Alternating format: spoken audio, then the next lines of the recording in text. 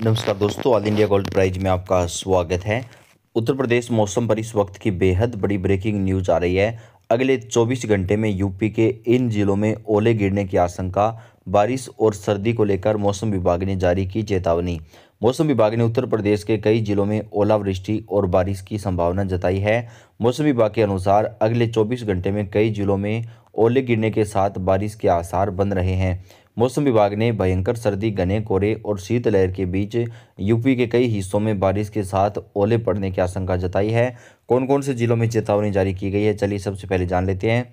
मौसम विभाग ने उत्तर प्रदेश के मुरादाबाद, बरेली, रामपुर, आगरा, बिजनौर मैनपुरी, हाथरस, फिरोजाबाद, मथुरा, अलीगढ़, नोएडा, गाजियाबाद, मेरठ, बागपत, सहारनपुर, मुजफ्फरनगर, बाराबंकी, गोंडा, बलरामपुर, श्रावस्ती, सिद्धार्थनगर, मिर्ज़ापुर, वाराणसी और भदोई के कई हिस्सों में हल्की बूंदाबांदी के साथ ओले पड़ने की आशंका जताई है।